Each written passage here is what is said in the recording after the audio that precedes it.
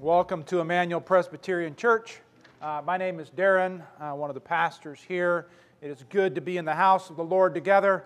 This morning, if you're visiting, you'll notice in the uh, seat pocket in front of you there's a white visitor's card. Love to know more about you, ways that we can serve you. Uh, you can simply fill out that card and place it in the offering plate as it comes by. Uh, that information is kept confidential. Uh, we don't share it with uh, everyone else. Uh, but, uh, anyways, just glad that you're with us this morning uh, here uh, to worship the Lord together. Uh, by way of announcements, as you turn to page 16, I do have a, a, an announcement that there is a Dodge Caravan van in the parking lot that is running that has no one in it. So, if you were the owner of a Dodge Caravan van and forgot to turn it off, uh, you may want to attend to that at this time. Uh, announcements, page 16. Uh, want to draw your attention to a few announcements here. Uh, one, uh, you'll notice the announcement for a new members class. That's an informational class. Uh, it's intended to, uh, yes, it's intended to walk you through the process of membership, but it's also the best way that I know if you want to get to know more about Immanuel, who we are, uh, that's the best class. That's an opportunity to, to come to that. That will meet on Sunday evenings, um, and that will run for four weeks, beginning in a couple weeks on October uh, 29th. Your next action step really is if you have an interest, let me know. Uh, that way we can plan for that class, and so an opportunity um, to, to come and understand more about who we are as a church and how to move forward in membership there. Second, uh, if you can make a joyful noise, you see, I qualify for that. But uh, if you'd like to be part uh, of our Christmas choir, uh, we, we have choir opportunities, music opportunities that are more broad from season to season. We do that. Uh, there'll be rehearsal uh, this afternoon for that. So if you'd just like to come be a part of that, come do that. Uh, as far as I know, no one's ever been turned away. So come and be part of that a good opportunity uh, that way. And so then, if you'll turn to page 18, uh, want to draw attention to uh, our memory verse. So we have uh, moving into the book of Romans. Uh, you should memorize all of chapter 8, uh, but we're going to just stick with verses 31 through 32. so our scripture memory for the next couple weeks is the, are these great promises. What shall we say?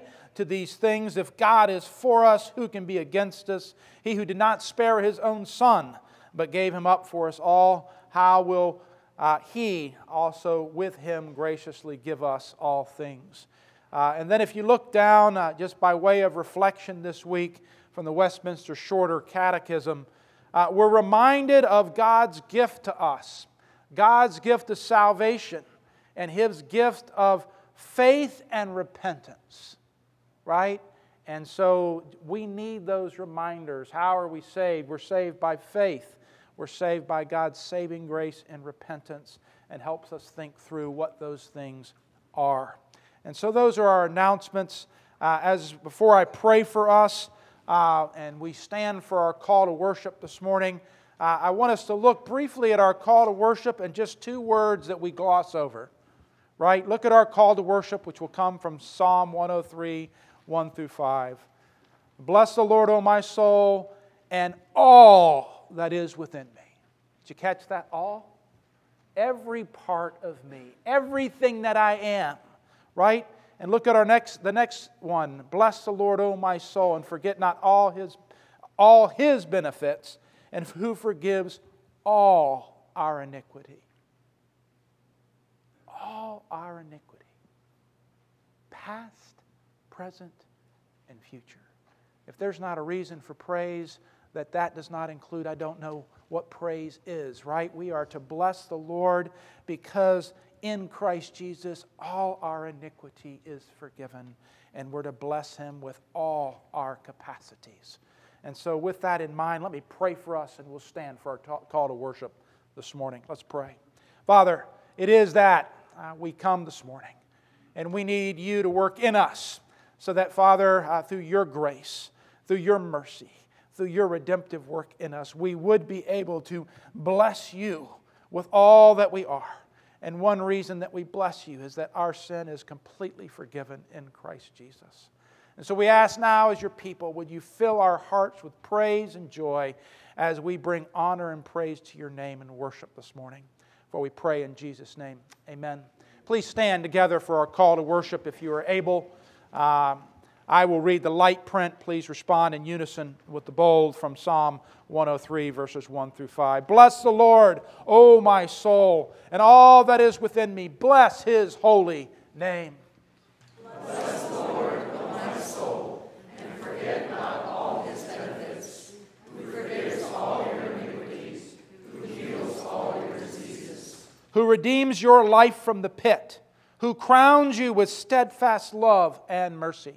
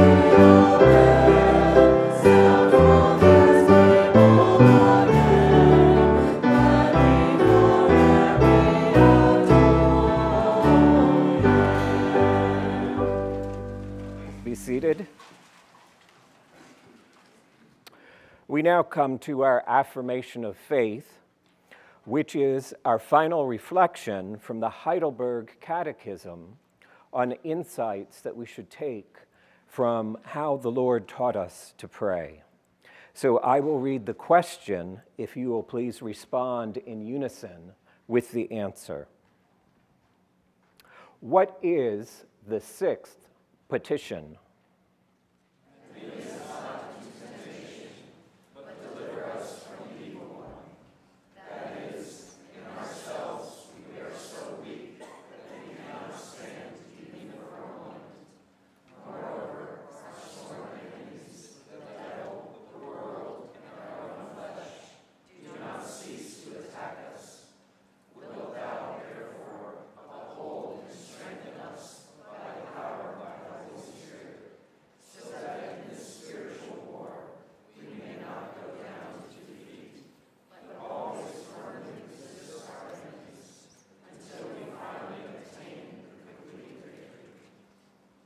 How do you conclude your prayer?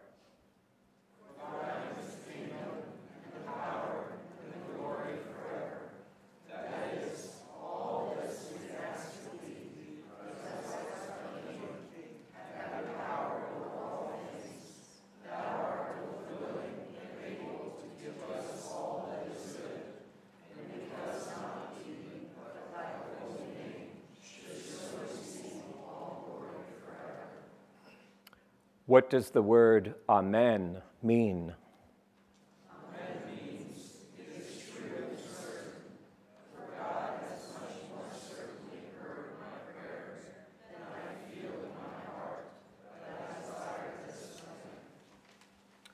So, as we have reflected upon the insights from the Lord's Prayer, what is the most essential, if you were going to say one thing that it has taught us?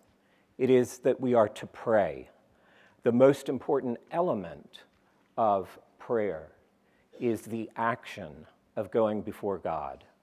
Your Heavenly Father desires for you to be in relationship with Him.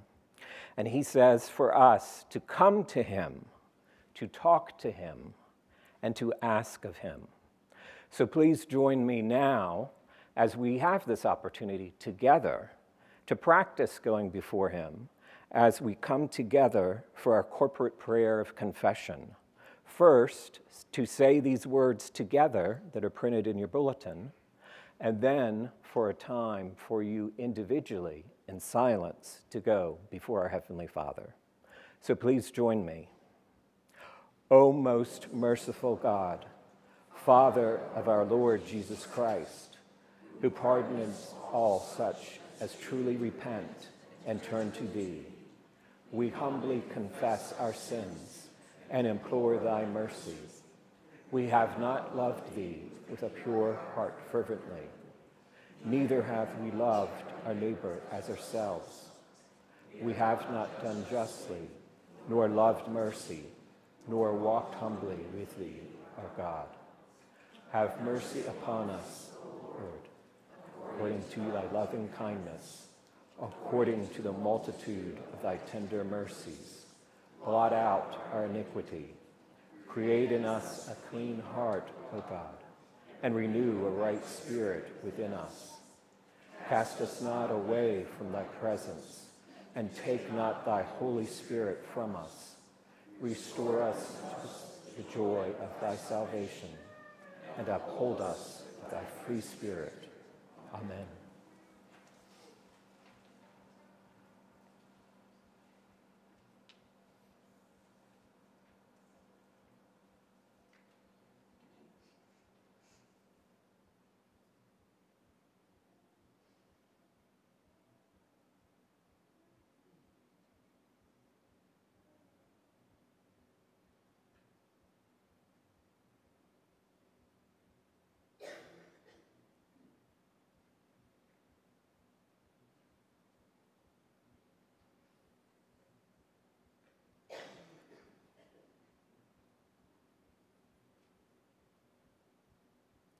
Heavenly Father, we say again, Amen.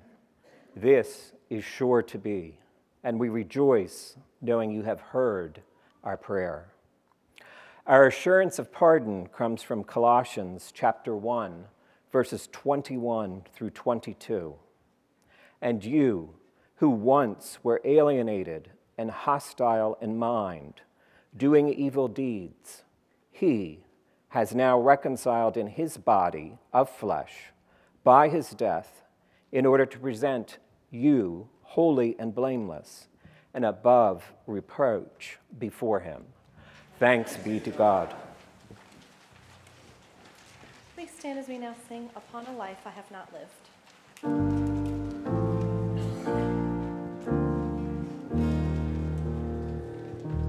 Upon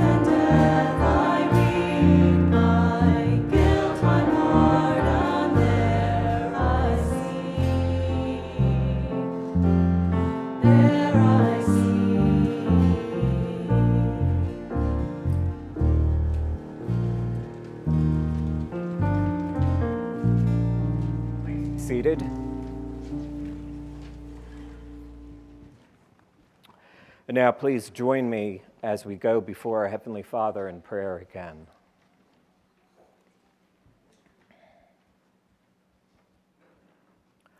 Thank you, dear Lord, that in your mercy and grace you have given us the ability to see your beauty.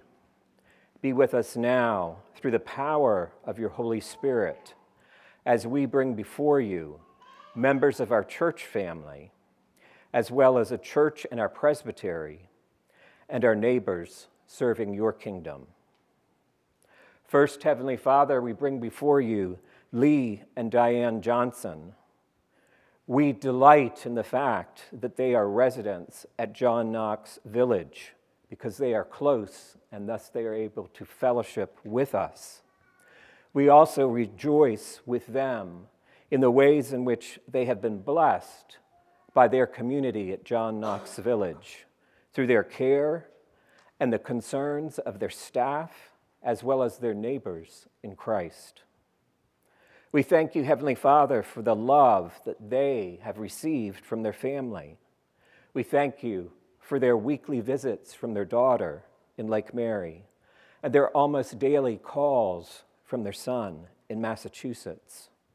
Thank you, Heavenly Father, for enabling them with the support of their family to be able to go to Washington State this summer for a high school class reunion and time with extended family.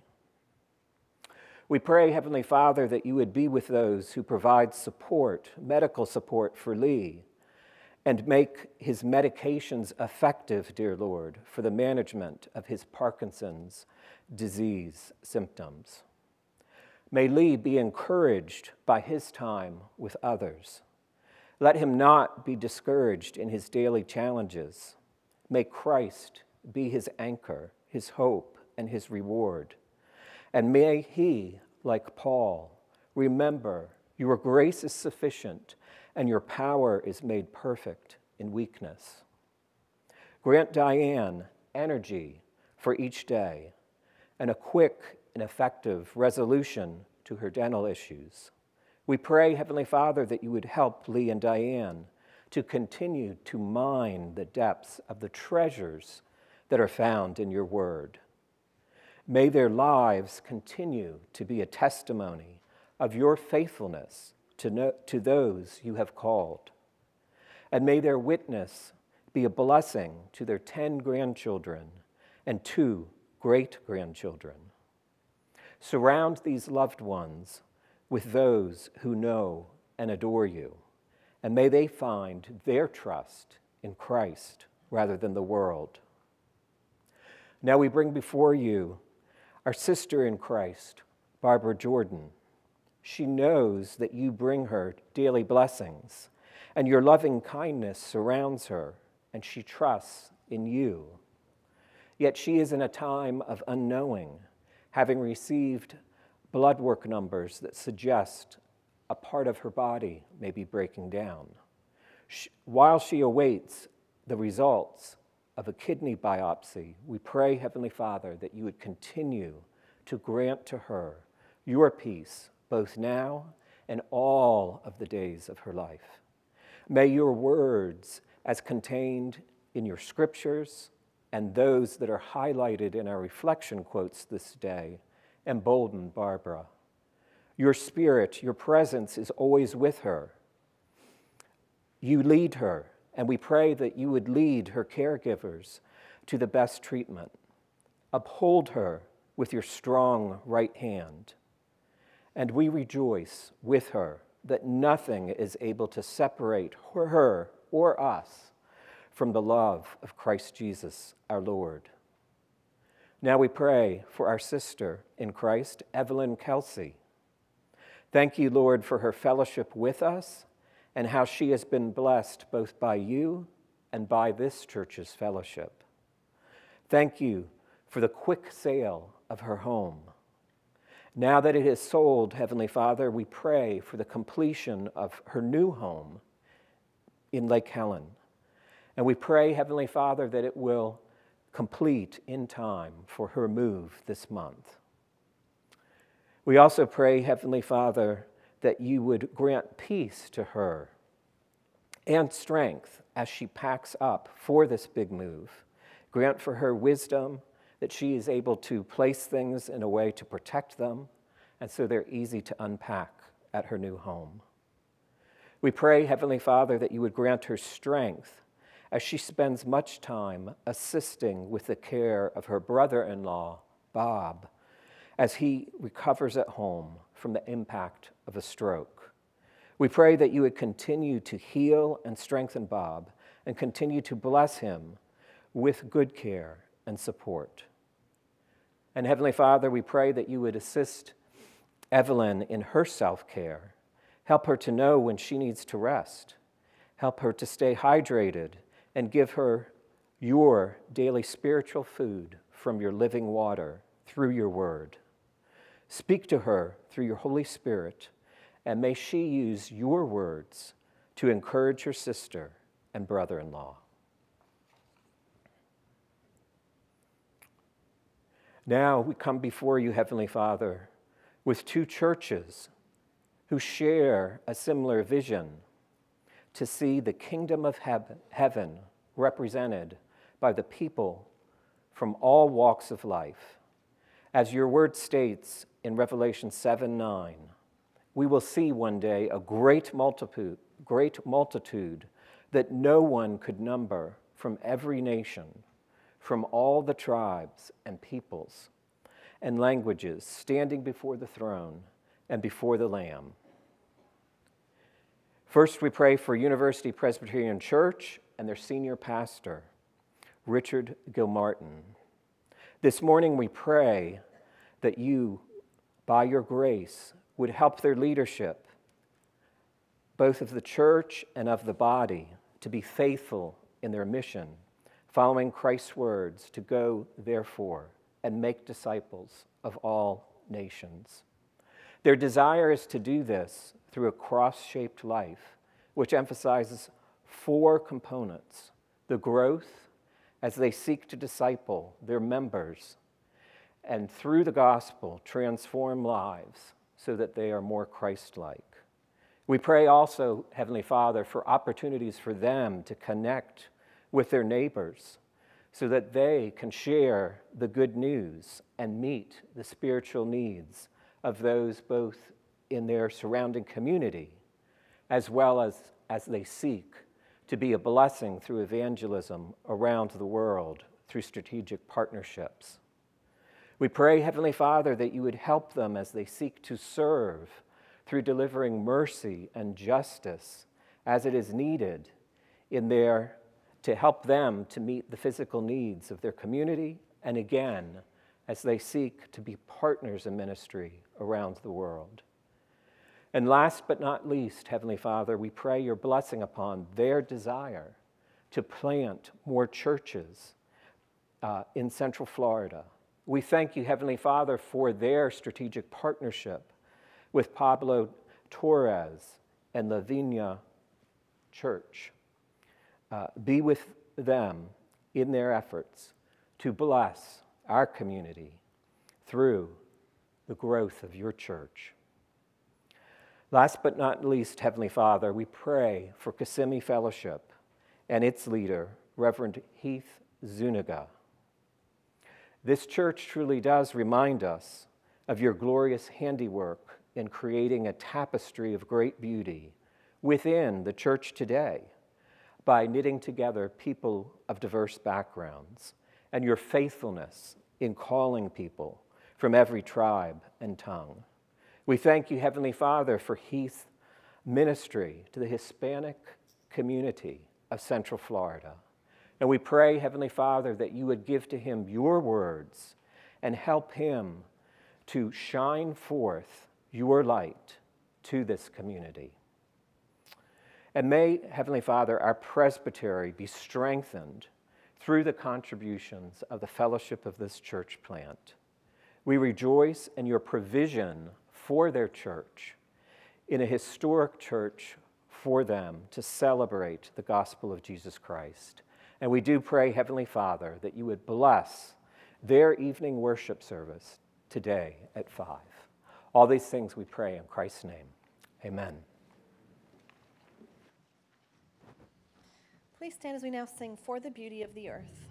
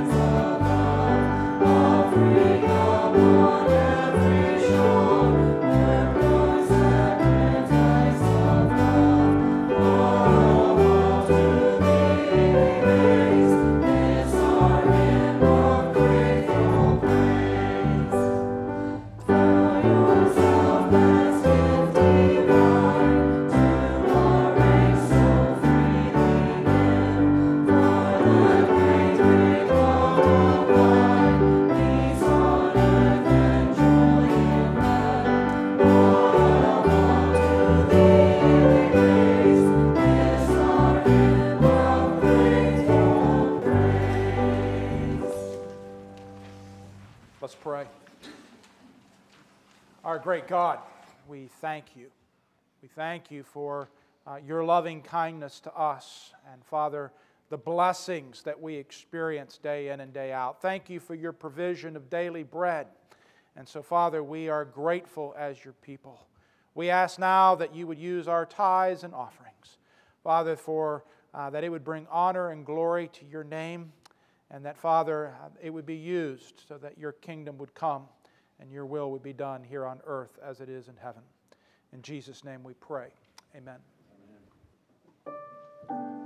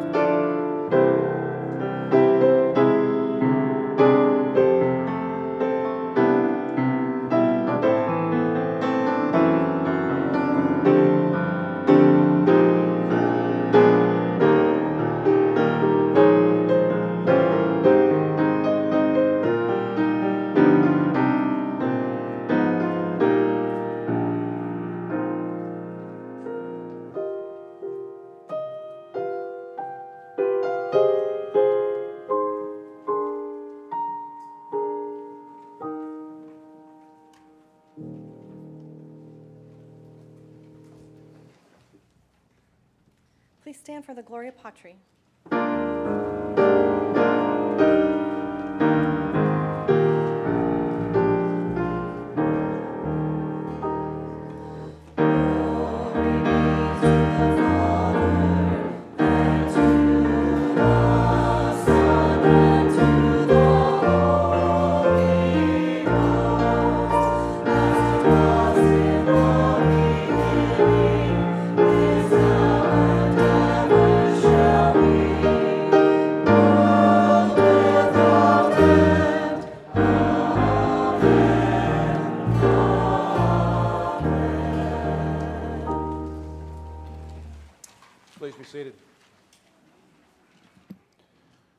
Continue this morning our study in the book of Genesis. We're in Genesis chapter 6.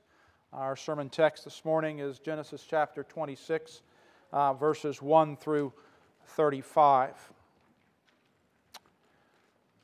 We continue in uh, God's story of redemption. This is God's inerrant, holy, and inspired word for us as His people. Let's give attention to the reading of God's Word. Now there was a famine in the land, besides the former famine that was in the days of Abraham. And Isaac went to Gerar, to Abimelech, king of the Philistines. And the Lord appeared to him and said, Do not go down to Egypt, dwell in the land of which I shall tell you. Sojourn in this land, and I will be with you and bless you. For you and your offspring I will give these lands, and I will establish the oath that I swore to Abraham your father.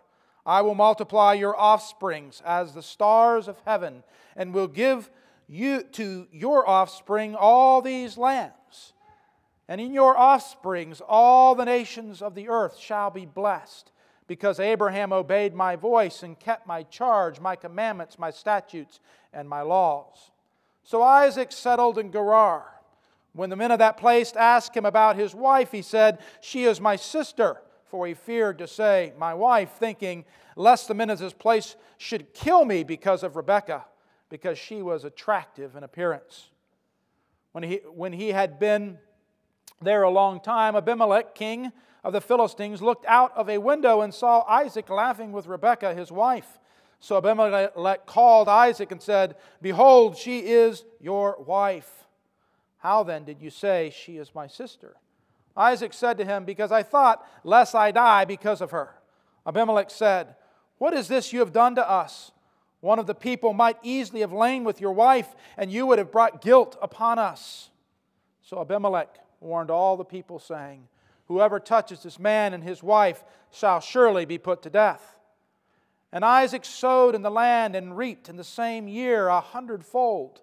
The Lord blessed him, and the man became rich and gained more and more until he became very wealthy.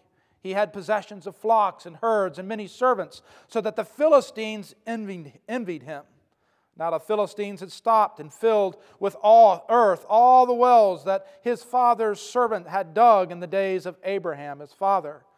And Abimelech said to Isaac, Go away from us, for you are much mightier than we. So Isaac departed, and there he encamped in the valley of Gerar and settled there. And Isaac dug again the wells of water that had been dug in the days of Abraham his father, which the Philistines had stopped up after the death of Abraham. And he gave the names, he, sorry, and he gave them the names that his father had given them. But when Isaac's servants dug in the valley and found that there was uh, a well of spring water, the herdsmen of Gerar quarreled with Isaac's herdmen, saying, The water is ours. So he called the name of the well Esek, because they contended with him. Then they dug another well, and they quarreled over it also, and he called its name Shitnah. And he had moved from there and dug another well, and there they did not quarrel over it. So he called the name Rehoboth, saying, for now the Lord has made room for us, and we shall be fruitful in the land. From there he went to Beersheba, and the Lord appeared to him that same night and said, I am the God of Abraham your father. Fear not, for I am with you, and I will bless you, and multiply your offspring for my servant Abraham's sake. So he built an altar there, and called upon the name of the Lord, and pitched his tent there. And there Isaac's servants dug a well. When Abimelech went to him from Gerar with Ah- Ahasush and uh, his advisor and Phicol, the commander of his army, army, Isaac said to them, Why have you come to me, seeing that you hate me and have sent me away from you? They said, We see plainly that the Lord has been with you. So we said, Let let there be a sworn pact between us, between you and us. Let us make a covenant with you that you will do us no harm, just as we have not touched you and have done to you nothing but good and have sent you away in peace. You are now the blessed of the Lord. So they made, uh, sorry, so he made them a feast and they ate and they drank. And in the morning they rose early and exchanged oaths. And Isaac sent them on their way, and they departed from him in peace. That same day, Isaac's servants came and told him about the well that they had dug and said, We have found water. He called it Sheba. Therefore, the name of the city Beersheba to this day. When Esau was 40 years old, he took Judith, the daughter of Beeri, a Hittite, to be his wife, and Basemath, the daughter of Elon the Hittite, and they made life bitter for Isaac and Rebekah. The grass withers, the flower fades. Let's pray. Father, we thank you for uh, this divine story, this divine narrative. And Father, we ask now that as we plunge into the depths of your word, would you teach us? Father, would you show us who you are? Would you show us who we are? Would you show us our need for redemption? And Father, how your covenant promises ring true and that the, the ultimate uh, fulfillment of all of your promises, yes and amen, in Christ Jesus this morning. And so, Father, we ask that you would instruct us and teach us and train us as your children. And if we don't know you, would you make us one of your children by faith and repentance in the Lord Jesus Christ, in whose name we pray. Amen. Uh, perhaps this morning uh, you hear this long uh, passage here in, in Genesis 26, and you remember back and go, Have I not heard this story before in Genesis? Right? Genesis 12, Genesis 20, and Genesis 21.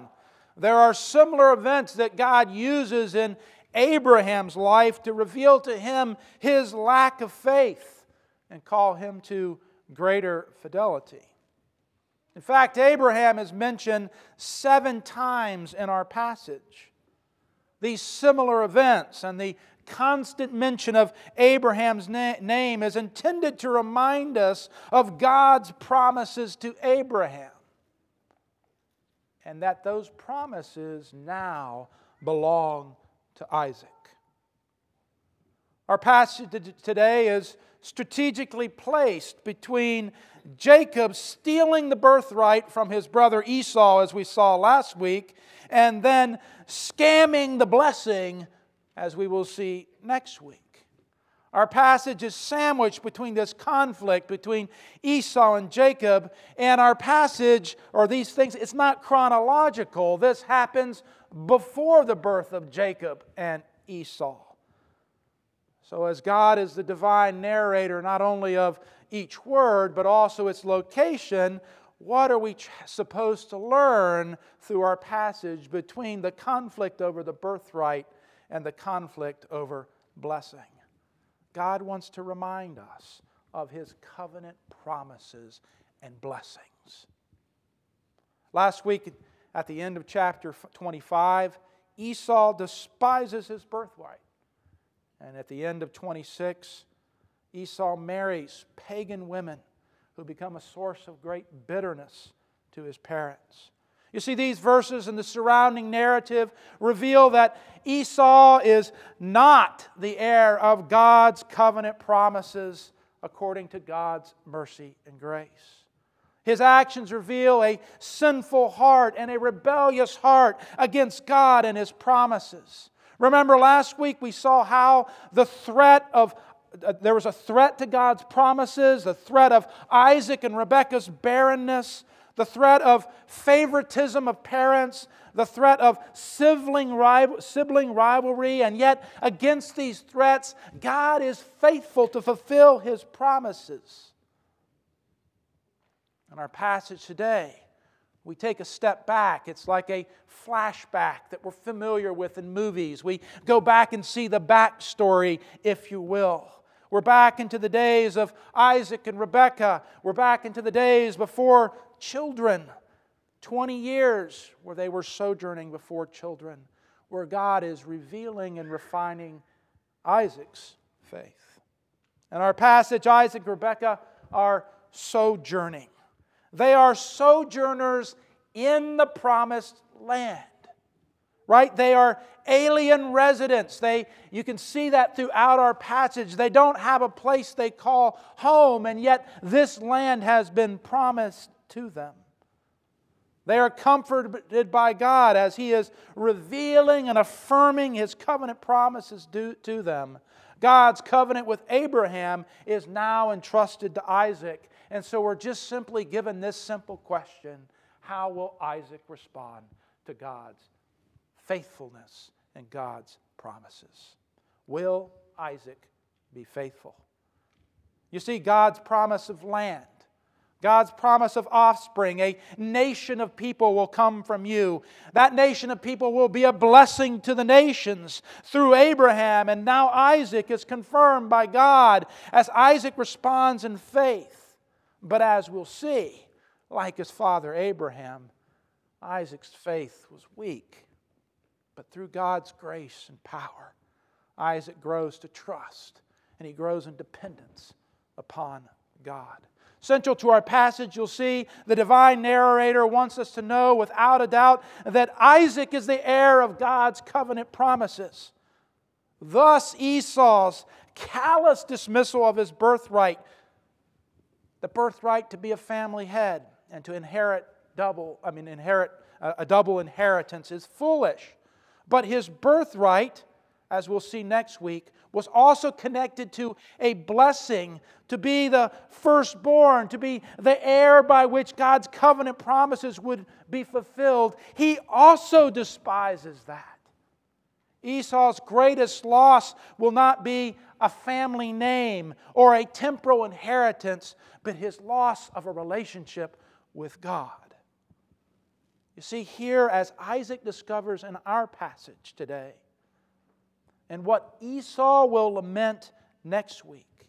The epicenter of God's covenant promises is his presence.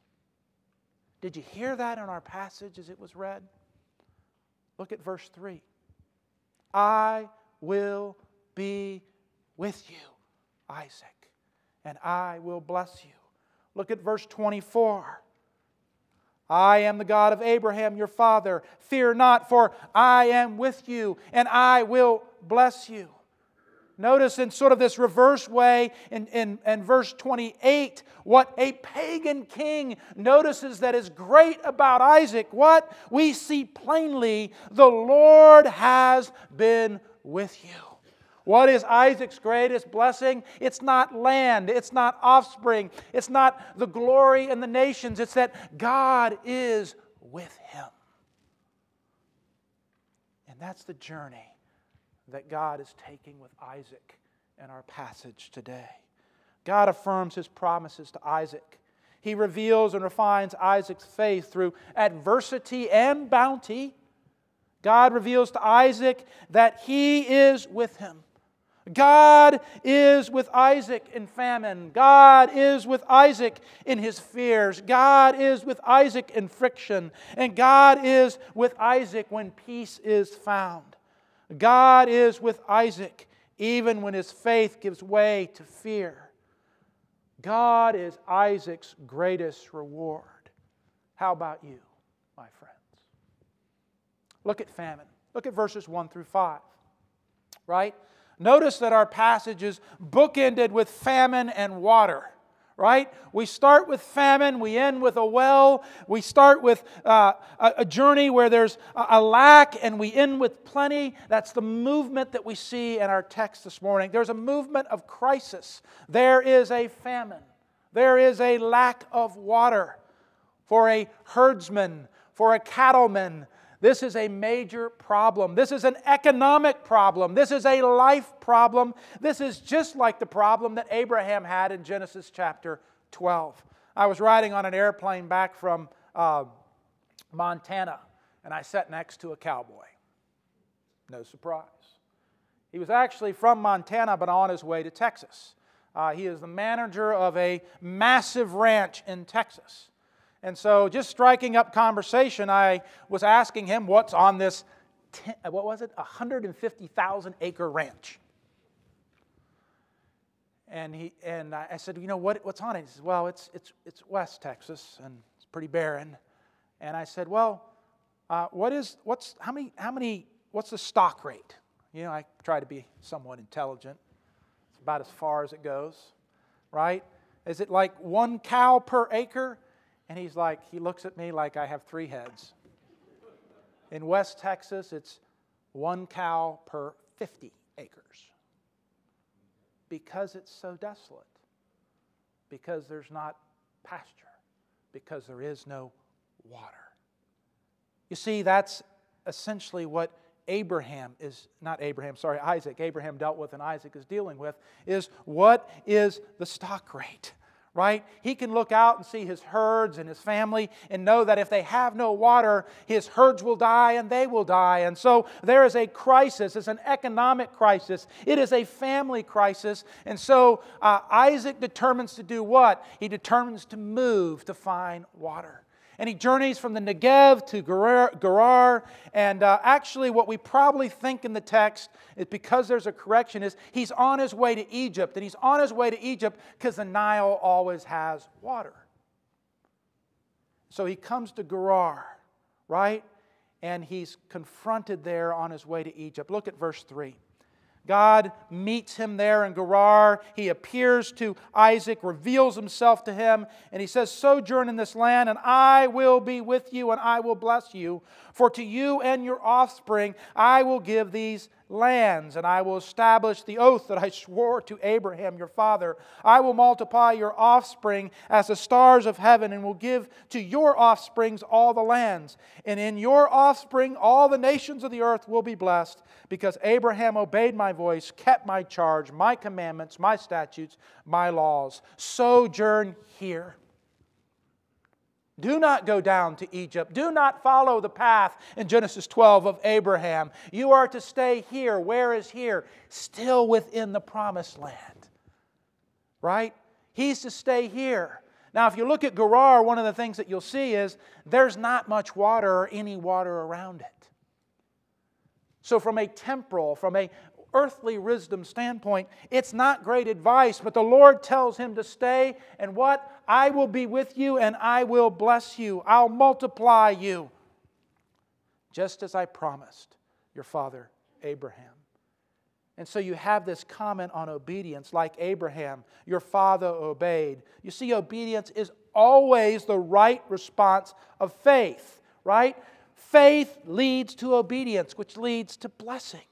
God's promise precedes Abraham's obedience, just like we see here, God's promise to Isaac precedes his obedience. Obedience flows from grace by faith.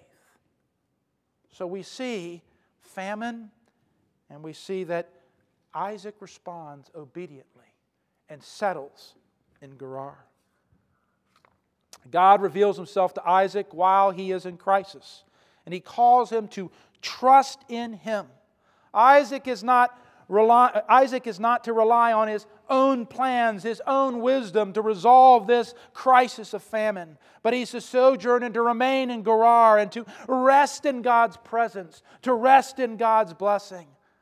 I will be with you and I will bless you. I will give you lands, I will multiply you, and I will make you a blessing to the nations. You see, like Isaac, what are the famines you and I are facing, my friends? Are you trusting in God and depending by faith upon Him and His promises and His presence in your crisis? How is God using economic adversity and family crisis to temper your faith in Him? And reliance upon his promises to you. Look at verses 6 through 16 fear. You see here in verses 6 to 16, although Abraham remains in Gerar, quickly faith is mingled with fear. Have you ever experienced that? The men of Gerar will take notice of Rebekah. Isaac fears for his life. If the men know that I am her husband, then they may eliminate me as the competition. He's willing to trust God to provide refuge from famine, but he's unwilling to trust God with personal protection. So Isaac decided to lie. Just a small lie, just a small deception. But in doing so, he put the purity of his wife and the sanctity of their marriage at risk by saying, She's my sister, not my wife. Unlike his father, this is a complete untruth, right? Abraham and Sarah. Sarah was a sister, still in the clan and the family. In this case, not that way. Proverbs 21 1 says, The king's heart is a stream of water in the hand of the Lord. He turns it wherever he wills. You see, Isaac does not trust in the Lord. He doesn't see God as sovereign over kings and everything that they do. And we see that God reveals his sovereignty here to Isaac because Abimelech looks out the window. And as he looks out the window, he spies Isaac and Rebekah in a moment of laughter.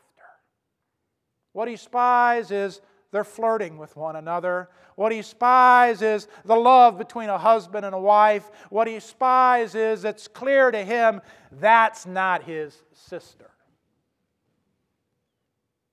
And he confronts Isaac with Isaac's sin.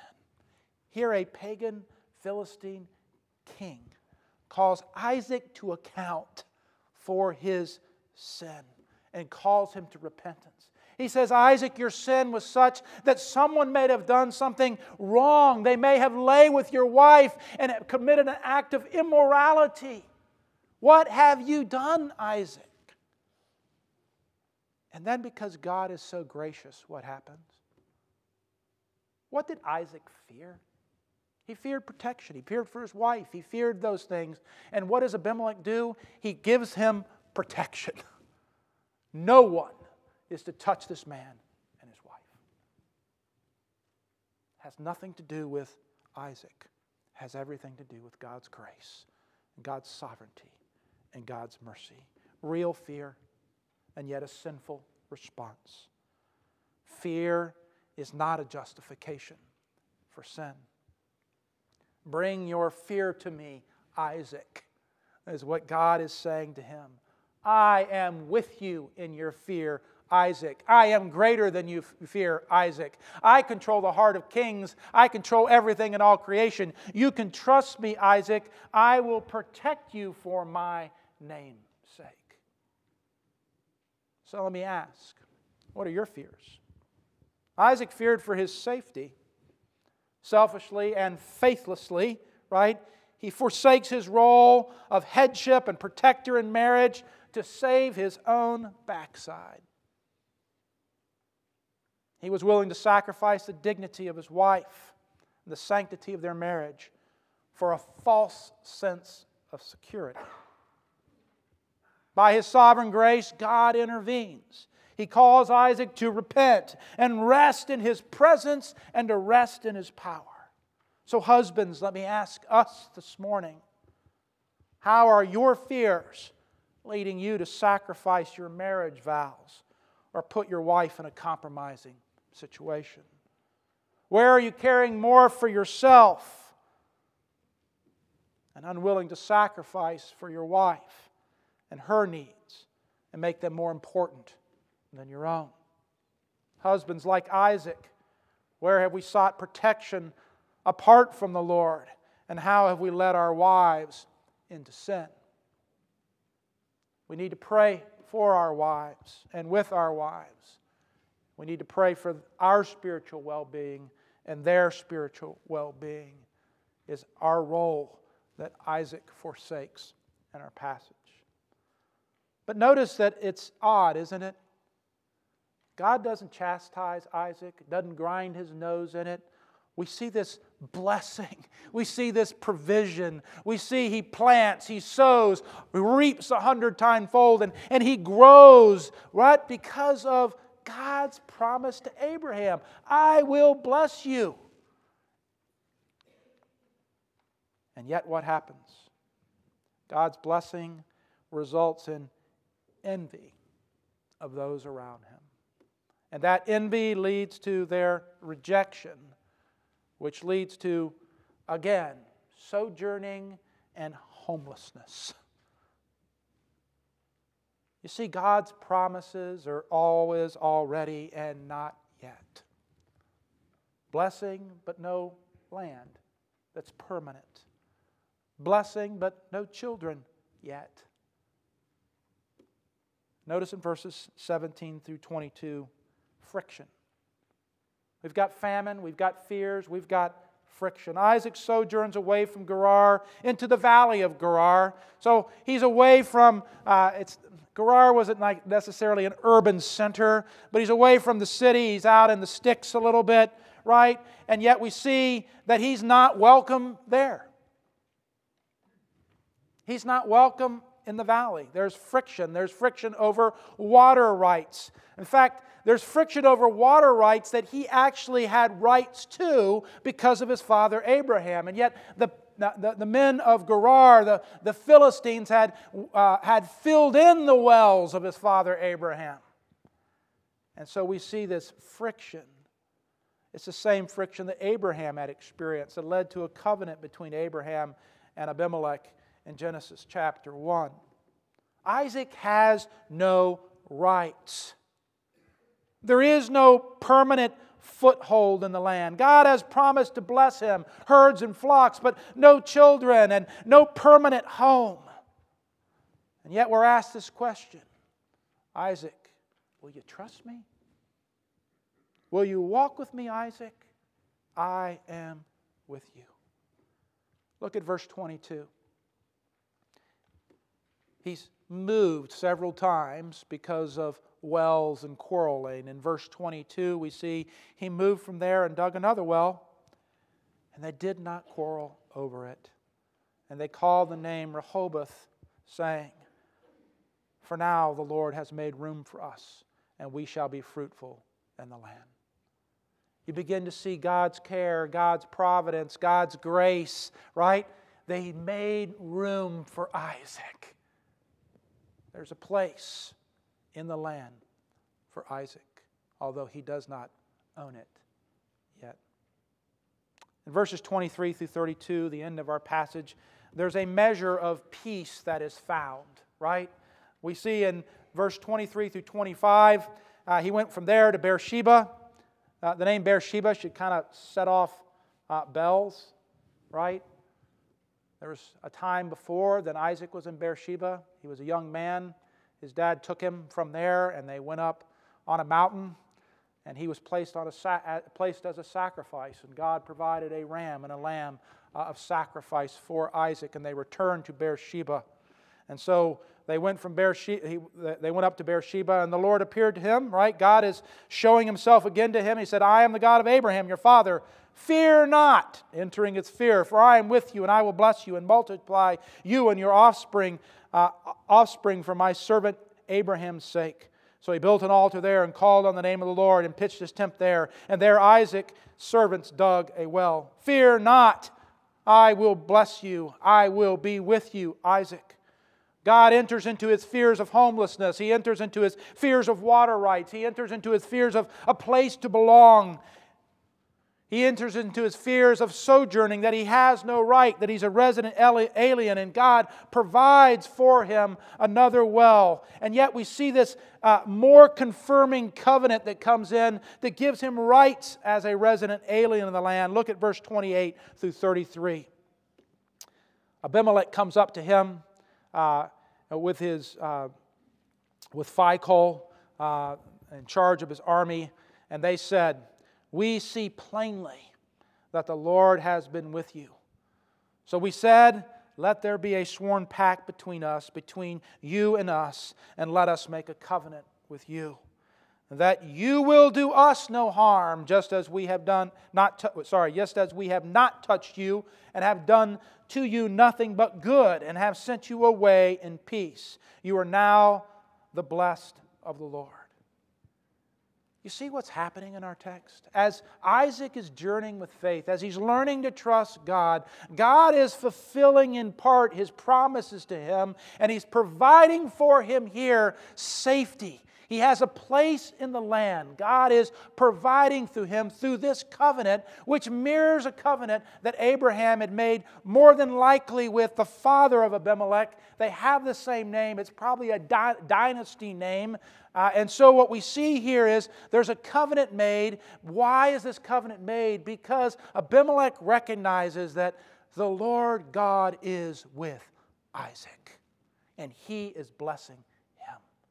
And he's reminding Isaac, yes, we sent you away, but we treated you well when you were with us. God is with Isaac. God will provide for Isaac.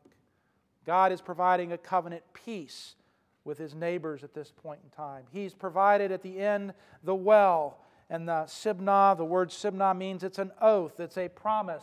This well is a reminder not of the covenant necessarily made here with Abimelech, that's in part, but it's of a greater promise, a promise that God has made that he would provide for Isaac and his offspring this promised land. You see, our sin separates us from God. Yet, like we see here in Isaac's story, God, in his mercy and grace, through his covenant promises, progressively reveals himself to his people and brings them nearer and nearer into his presence. What Abraham and Isaac experienced of God's presence is a mere foretaste to what we experience of God's presence. We experience God's presence in full or in part because our sin has been atoned for in Christ Jesus. And God's Spirit, if we are in Christ, dwells in us and marks us as a child of God. God's promise to Isaac is the same promise of the gospel of King Jesus I will be with you, I will bless you, you will be my people, I will be your God. And we experience that more fully than Isaac and Abraham did. But we don't experience it completely yet, do we? So, what we need to hear this morning, friends, is God's gospel promises to us God is with us. God is with us in famine. God is with us in our fears. God is with us in adversity and friction. God is with us even when we find respite. He is with us. But not only is He with us, that God is for us, right? He's even for us in our waywardness because He draws us to repentance if we are in Christ Jesus, as He did with Isaac. God is for us in famine. He's for us in crisis. He's for us even in our fears, even in our adversity, and He's for us when we experience His rest and peace. God is with us, God is for us. God redeems us. He redeems us from sin through the work of His Son. And He restores us. And He gives us peace that is both present and future. God is with Isaac as He is with Abraham. This is the promise of our text, but it's the same promise to us that, like he was with Isaac, that, like he was with Abraham, there is a way that God can be with us. And that's the promise of the gospel. Abraham's promised son, Christ Jesus, restores us and redeems us through his work on a cross. One last thing it's called witness. Did you see that in our text? Did you see what God does in Isaac's life is not just for Isaac, it's that he would be a blessing to the nations. How is he a blessing to the nations? Notice Abimelech shows up and says, I see that God is with you, and it would be good for us to have peace with one another. So that just begs this question If God is with us, if that's the gospel promise, right? God is with us, that He is our God, we are people. Do people look into your lives and say, God is with you? Notice how our text says this. We see plainly. It was an observation that Abimelech and the Philistines had made about Isaac and his life, not that Isaac had proclaimed over the Philistines. The initiators of that witness was not Isaac, but Abimelech. We see God is with you. That doesn't mean that we're never to tell people about our relationship with Christ. We are. But what that does mean is that what people will believe what you say when it matters and they see it in your life. So, is your greatest treasure that God is with you, that God is for you, that God has redeemed you in Christ Jesus, that He has restored you, given you peace, and He has fruitful work for you to do. Let us pray. Father, we do come now and ask that you would take this word and apply it to our lives. Uh, that, Father, you would help us to consider uh, from this passage. Uh, Father, uh, are we trusting you in the crisis of our life? Father, are we uh, bringing our fears captive into your presence? Are we resting in you in adversity and affliction? Father, are we thanking you when we find peace? Father, are we resting in you because you are with us and you are for us and you have redeemed us and you are restoring us in Christ Jesus? In whose name we pray. Amen. Please stand as we now sing, Still My Soul Be Still.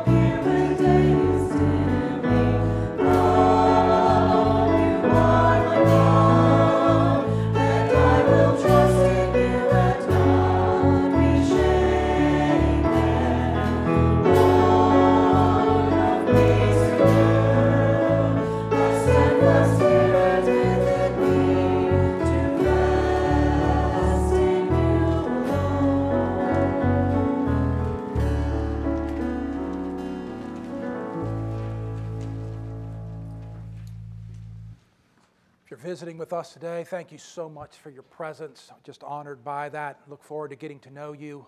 Um, if you have a questions, like to know more about the gospel of Jesus Christ, I'd love to have that conversation with you. If the chorus we just sang is not your chorus, uh, I'd love to talk to you about how it can be your chorus, and the person next to you would also love to talk to you about the, for the reasons of hope that they have in Christ Jesus. So let us encourage one another by those types of conversations this morning.